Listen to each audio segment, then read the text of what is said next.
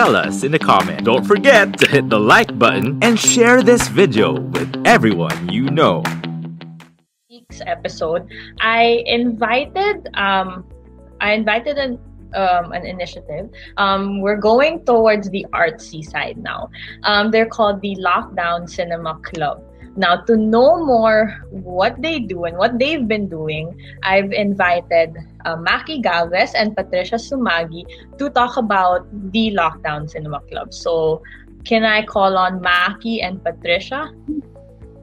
Hi, Maki. Hello. Hi, Patricia. Hello. How are you? Hi, Erica. Hello. We're okay. Doing good. Okay, so um, hey, let's start. What is Lockdown Cinema Club? Maybe you could give like a brief background on it. Ako, Go, Maki. sino ba ako? uh, Lockdown Cinema Club is an online initiative uh, that's geared towards showing uh, films for free uh, um, on different streaming platforms, uh, Facebook, YouTube, Vimeo. Um, and in turn, uh, it's uh, we asked that peop- at the time when when it was active to, for people to donate and uh, give money to help our uh, film workers who are no work, no pay. Um, so we uh, we we operated primarily over Facebook. Uh, worked with a bunch of volunteers like Pat and myself, and other industry uh, professionals. So we were comprised of uh, directors, uh, producers, uh, assistant directors, production designers, cinematographers, editors.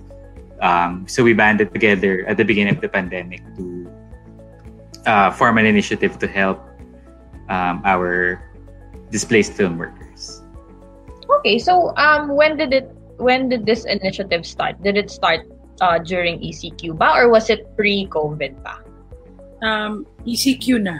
Uh, I think it was already a week after mag-lockdown.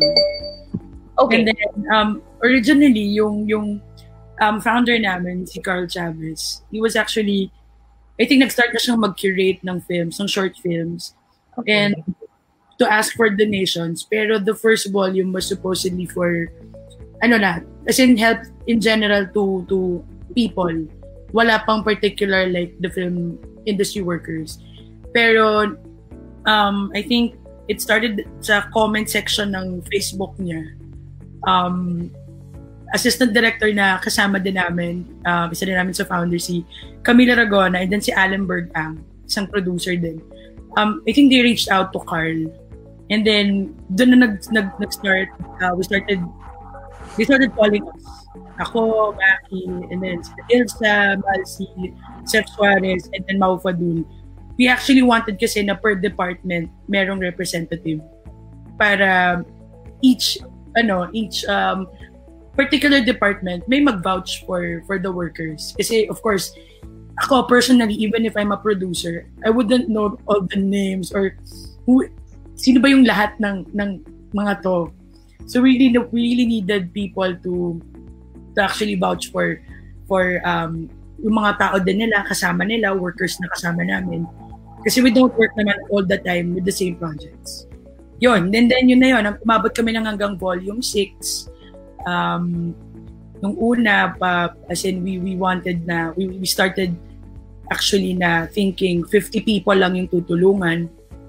And then we were overwhelmed kasi nung nag, we were listing down the names. We got to a point na, tigta 10 lang tayo, 10 per department. Tapos, syempre, pag, ano, ang bilis ng balita eh. Once you have itong number of people na to, I'm sure na na mag-spread out siya fast. So parang umabot namin sa point na, sige, let's just get all their names and then let's figure it out. Magdasal na lang tayo na may, na may mag-donate. E- Eventually, in fairness naman, um, I think sobrang daming bukas palad na who actually reached out. Actually, kahit taga-ibang bansa, foreigners, it's not really Filipinos alone, yeah. As in, ang daming, daming nag, nag-donate from other countries na who saw the films also, the short films. Or do you have mga sample films or um, what have you been show what have you been showing during um ECQ? ECQ. Uh, yeah, so we have um, uh, we have volumes nga. So we kaya siya release in volumes kasi as the pandemic, as the lockdown kept on extending, people started to offer their films uh, in waves. So kino-collect nung programming uh, ano namin, committee namin. Um, so aside from the volumes, because actually sobrang busy namin ni Pat, I actually haven't seen any of the stuff in Lockdown Cinema Club kasi we medyo uh-huh. naging full-time work yung donation drive. Mm. Um, so I, I think we we showed there some posters of the other live events that we had. Like we had a live script reading ng uh, ng um, ano yung kay Tonet, Pat?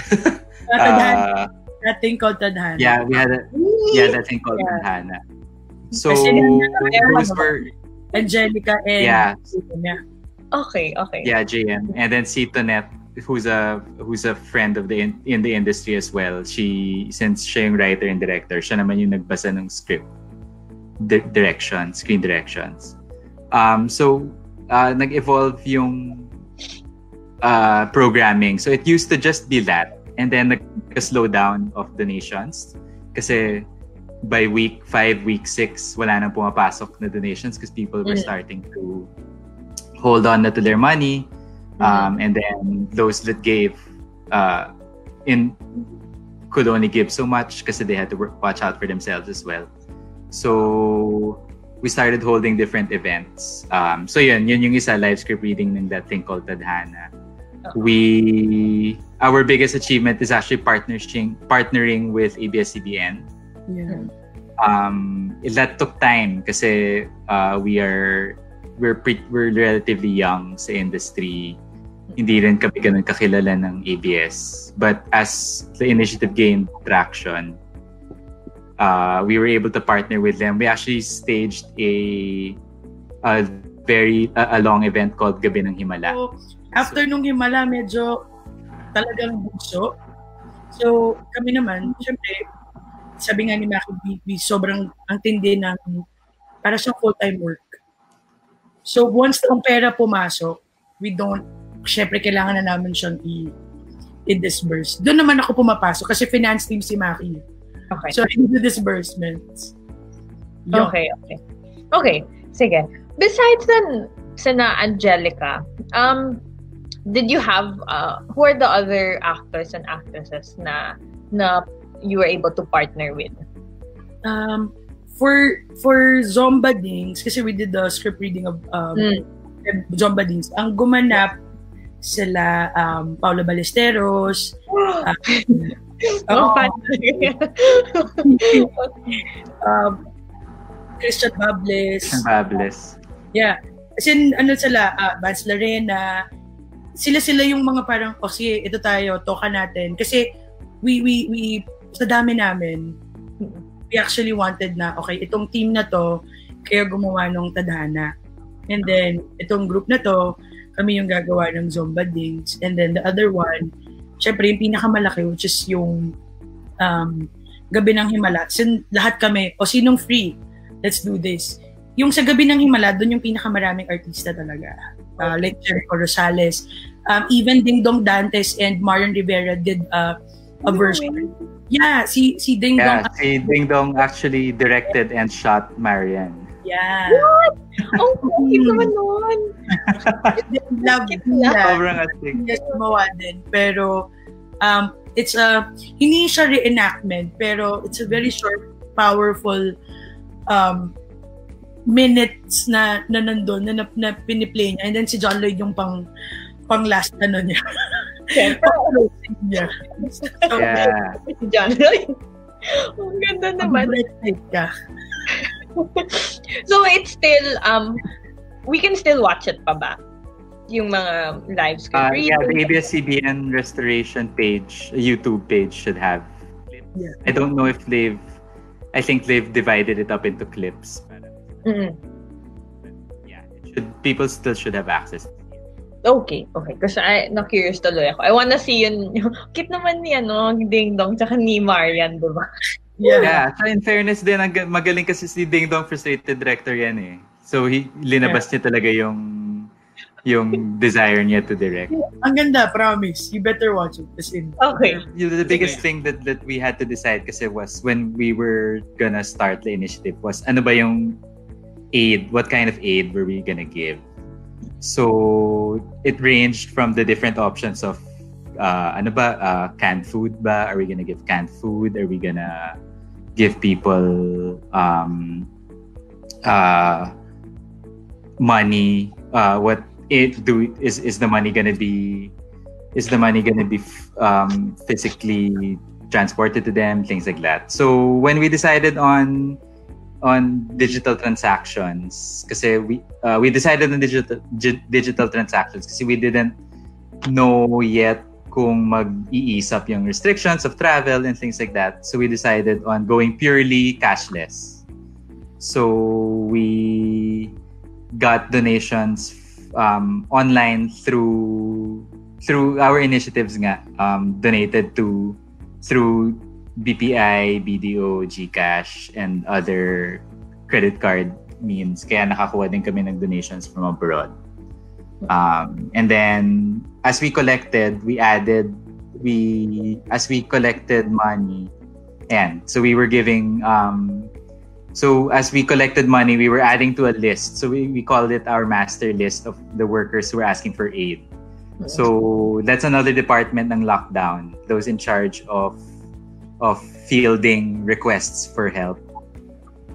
And then which Pat is is part of as well. And then yun, tapos namigay na kami ng pera. Si Pat, sila Pat na yun. Actually, sobrang thankful kami sa ano, um, UP students na nag-volunteer. Kasi sila yung sobrang tumulong sa amin to collect. Siyempre, kung kami-kami lang yung magbe-message, sobrang kagulo. So, itong mga volunteers na mga students, well, hanggang ngayon may kau- kausap pa naman namin sila. Masaya pa naman kami magkakausap. Um, sila yung nag, nag, uh, nag-forward ng mga messages sa mga tao. Kasi technically, whenever we get names, kunwari ako as a producer, I talk to other producers. We make a group chat. And then sila yung mag, mag-vouch for these people. And then, ngayon, pag nakuha namin yung names na yun, isa-isahin nang i-message ngayon ng mga bagets yun. They will ask um, um, for Gcash account, um, BPI account, ano ba, how do we reach to you? I mean, how do we give you the money? Tapos, ayun, as in, sobrang daming, ano niyan, sobrang daming kwento na talagang, hindi ko lang maiiyak ka. Kung ba magtutulungan, it's, it's just us. Sa ngayon, it's just really us. And in fairness, dahil nakagaw, nakuha namin yung names nitong mga, well, we're focusing merely doon sa people who earn 2,000 and below ha. Um, sila talaga yung focus ng, ng Lockdown Cinema Club na initiative. Nakagawa ng registry. As in, nakagawa ng registry dahil nakakollect na kami ng nitong names na nasa amin. Na people, nagulat din kami, ang dami kong hindi nakilala, hindi ko pa naman nakasama. Pero lahat sila parang napagsama-sama namin and then may may nagawa na kaming registry for these people para kasi freelance na nga kami. Tapos wala, ka wala pa kaming listahan ng kung sino-sino kami, di ba? Ang parang ang lungkot naman na masyado nun. Oo. Ayun, as in, araw-araw yan. Araw-araw kami nagme-message kung kailan namin mapapadala. In fairness naman, ang bilis din naman ng mga tao. Sige po, gagawa kami ng Gcash account. so, feeling namin kami yung nagpalag. There was a time na yung Gcash, sobrang naglalag na siya. Feeling talaga namin parang kagagawa namin kasi grabe na yung pag, pag, pag ano namin, paggamit namin ng, ng app na yan. Sana bigyan kami ng Gcash ng ano, one year na ano. Hindi ko alam. Gcash, baka able to naman. raise about 4.7 million pesos, I think, by the end of Maybe the they can they can show uh, 4.7.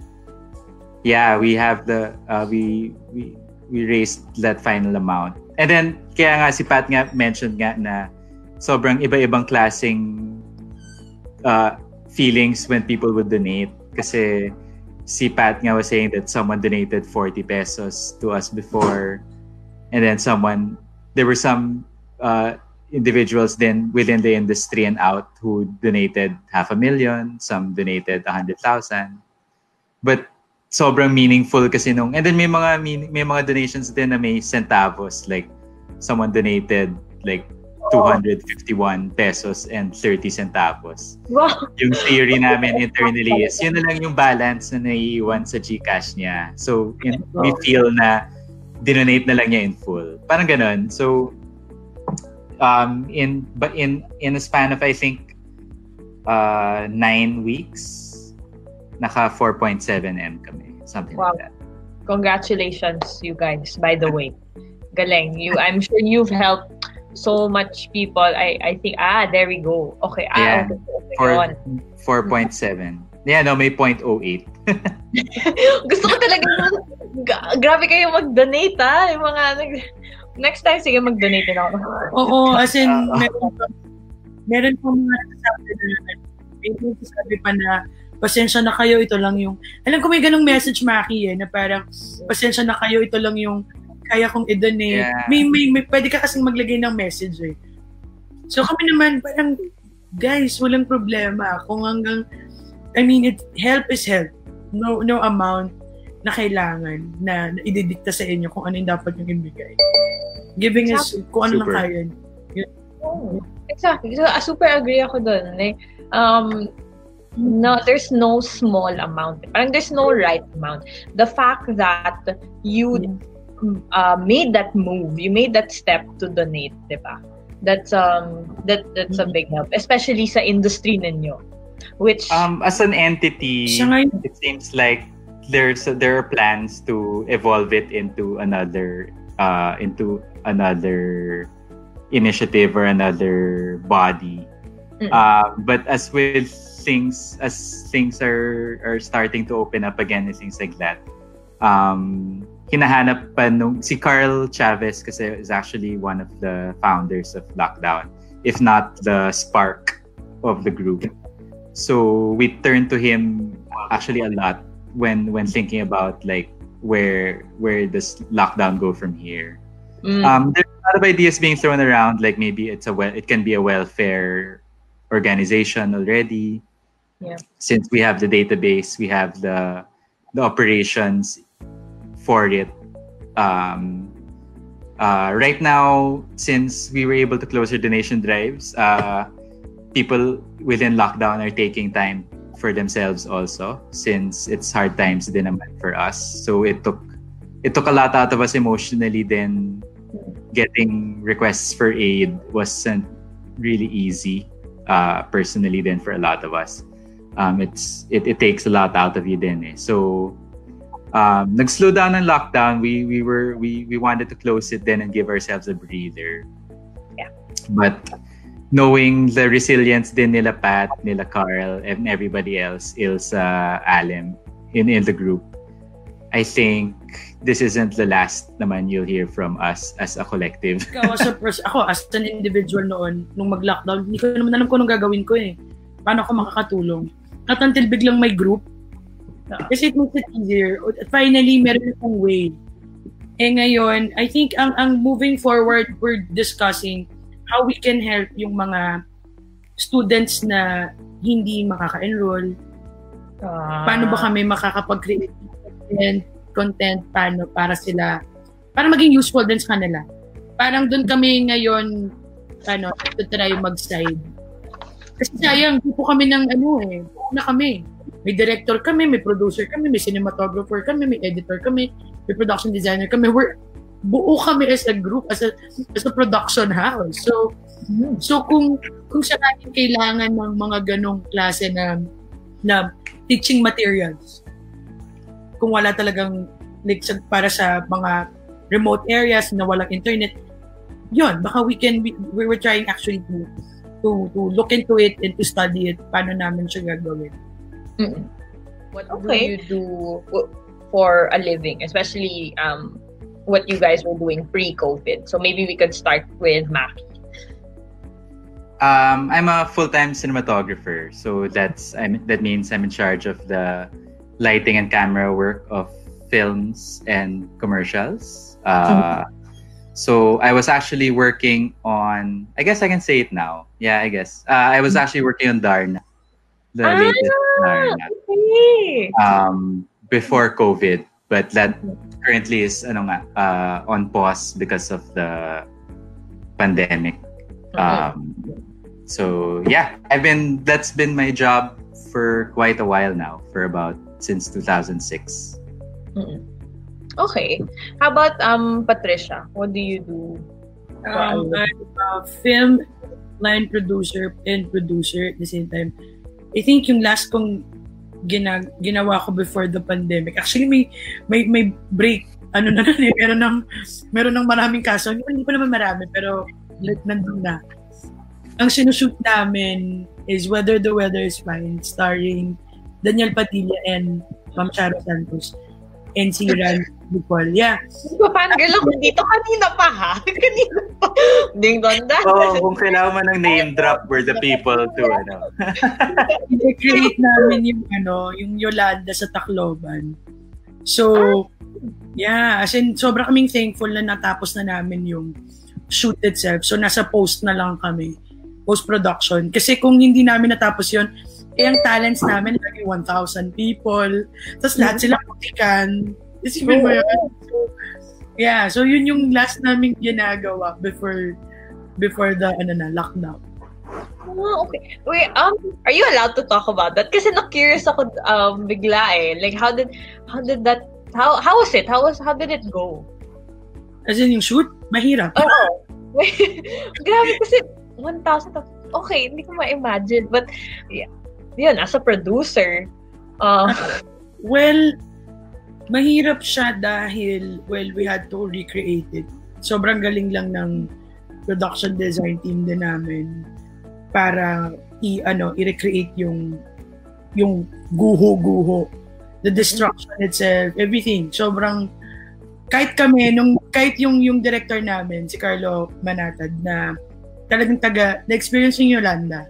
Dumating siya na ano na chaos na okay. And sabi niya, ganun na ganun yung itsura. Nakuha nung designer namin yung exact itsura nung stadium, ano yung itsura nung, nung Yolanda mismo. Yeah, so sobrang siya exciting actually. Sobrang masaya, masaya siya gawin kasi it's one of the very challenging. given the whole pandemic, you know, it it changed all our lives. It changed. I mean, this is the new normal. We all have to adjust and all that. So, how did the pandemic change the whole film industry? Um, sa ngayon, walang sinemang bukas. So, we don't know. Bawas kami ng isang platform. So, kami as film workers, syempre, we can only showcase naman our film. Syempre, sinehan, or, yun na nga, very fortunate na kung, kung lumabas siya sa Netflix, or iWant, or kung ano pa mang online platform. Pero, yun nga, without the cinemas as well, medyo hirap ang mga executive producers to actually finance and mag-invest. Kasi syempre, mahirap mag-invest kung wala kang sure na return. And syempre, pag walang mag invest walang mag-shoot, wala rin kaming gagawin. So medyo nandun kami ngayon. So as far as I know, may mga assistant directors na ako na alam kong naging kusinero na dahil ng shooting.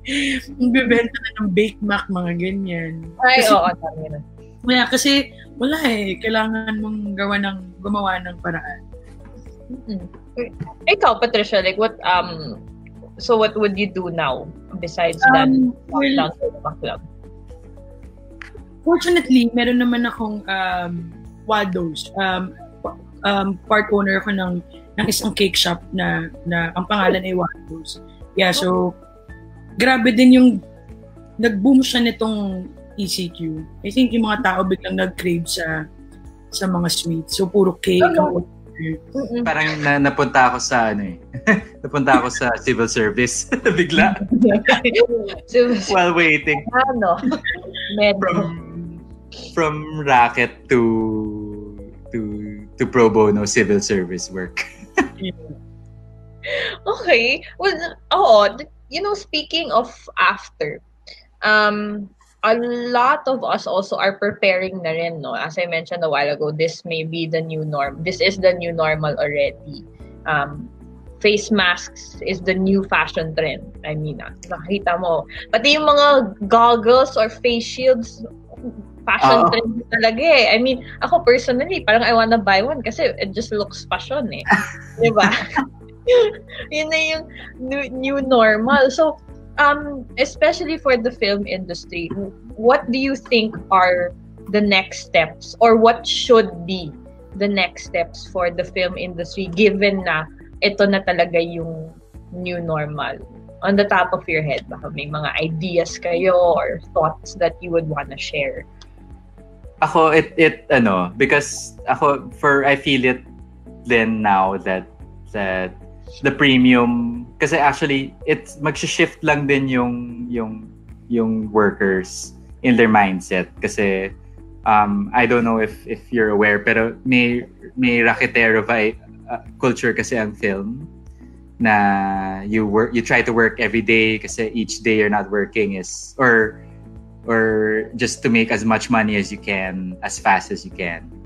Um, Trips na yung health, people haven't been taking care of themselves. But I think what's going to change is that people are now more aware of their limits than personal limits. So people, uh, there has been an industry-wide uh, call to end mga 24-hour shoots, an industry-wide call for and uh, and I mean and listened to na rin naman by the people that be na that control the productions anyway. So um I think that's it. I think people should start taking care of themselves more and and the the, the three months of no work has got has given people time to think about that. Okay. How about you, Pat? May mga ideas ka ba or like thoughts regarding doon? Um, well, alis lang naman kami ng ina-attenda ni Maki. Super. Araw-araw naman kami nakikita ni Pat. Doon lang kami. Parang di kami nakita kahapon. Nagkita din kami. Hindi kami nag-uusap. Kasi wala eh. We, actually, lahat ng tao ngayon nagtatry mab- mabuhay sa paraan na ano naman na kung papaanong maitatawid ang bawat araw. Medyo sobra talagang affected ng industry natin. I, I mean, as in ako personally, kinakausap ko yung mga uh, production assistants ko din na parang let's think of a way at paano ba natin matutulungan yung utilities natin, yung mga iba nating tao, baka we can think of a business na makakatulong sa makakatulong din sila para may income sila kasi wala eh. I, I, ako personally sa sa amin sa Quantum Films medyo hindi ka talaga, hindi wala talaga kami plano gumawa ng pelikula not until the end of the year. Kasi delikado eh. May isa lang na magkaroon ng COVID sa set. Medyo Ayun. Din talaga kayo. Yeah. Ang Ako din eh, naka-curious ako. Um, besides then the whole um, film industry, you have what else pa ba sa, sa, sa theater? That's also another thing. And Um, for sure. Yep, yun. And talagang basically the art in the the whole art scene eh. Um, and then yung mga performers, the, the actual artists, mga photographers, ano eh, kay, uh, I mean, I've heard of yung mga, just last night actually, uso ngayon with the photographers yung mga FaceTime photo shoots. But I, I don't know how that works. but No, but then, you know what? In fairness to artistry talaga, there are some that are really good na hindi mo na-imagine. Like, I still, in fairness, there are a few photographers that I follow locally and abroad that have pulled off some really great work. So parang you were talking about adapting and parang, I guess, what's, what's it? Parang resilience yeah. people. Parang, down, ano kasi yun eh, yung resilience. hindi ka nagpapatalo eh. So people are still actually still finding a way eh. So in fairness, I mean, kahit na ganito ka uncertain yung ano, parang it's still may may hopefulness then na silver lining. Oh, yun. Agree, super agree with your thoughts. And I hope, you know, everything goes well for the both of you, for, of course, Lockdown Cinema Club. I'm Stay tuned for the next episode. Only here on V81 Radio, Manila.